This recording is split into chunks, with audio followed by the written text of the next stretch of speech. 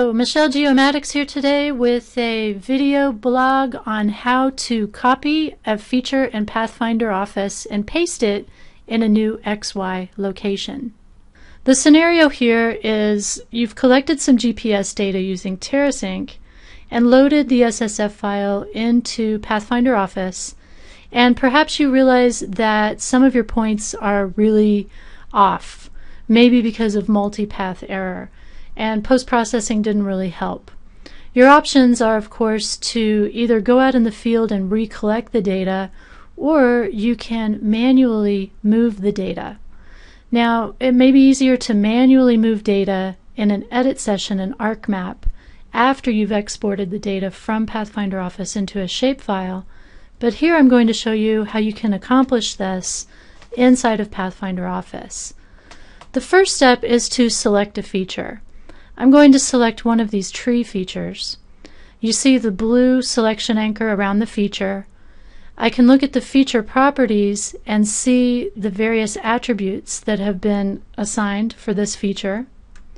And down in the position properties window, which I have open, I can see the XY coordinates. Here they are in UTM. I cannot change these. It would be very convenient if I could come in and just change these.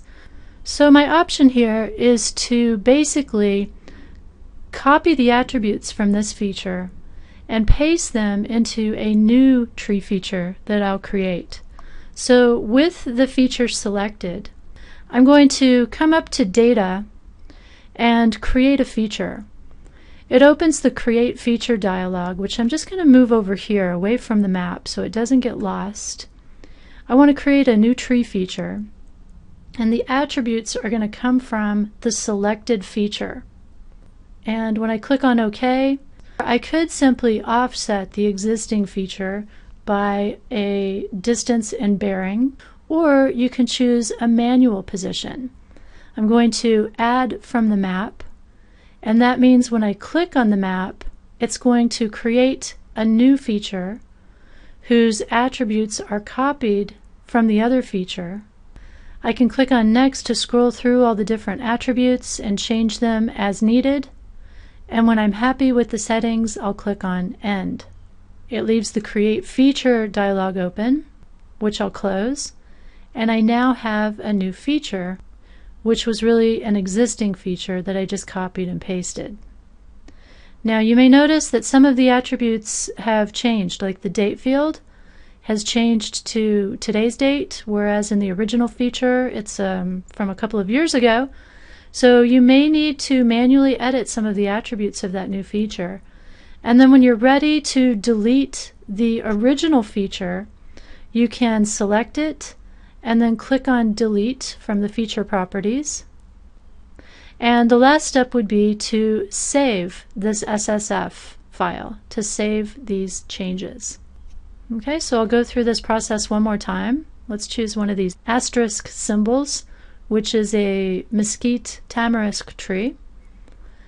It's selected. I'm going to come up to Data, Create Feature, move this window out of the way, choose to create a mesquite tamarisk feature, grab the attributes from the selected feature, come to OK, and then Manual Positions, add from map is checked on.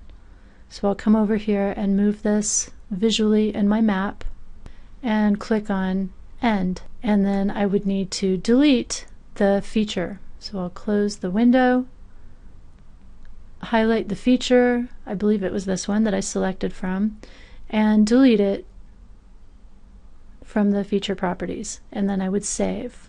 One thing that may be useful is if you have a background image that you could load into Pathfinder Office to visually see where these points you're moving need to go. You can add an image from the background file. You'll need to load an image in the correct format and georeferencing, and then you can add it to your map to display.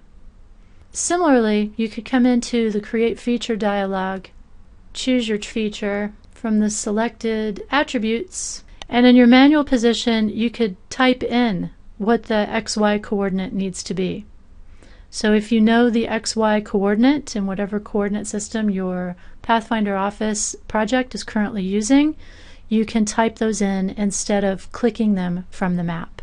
Don't forget to save your changes when you're finished. Hey, thanks for watching. This is Michele GeoMattix inviting you to visit our website at www.geomattix.com and keep us in mind for your geospatial training needs. Goodbye for now.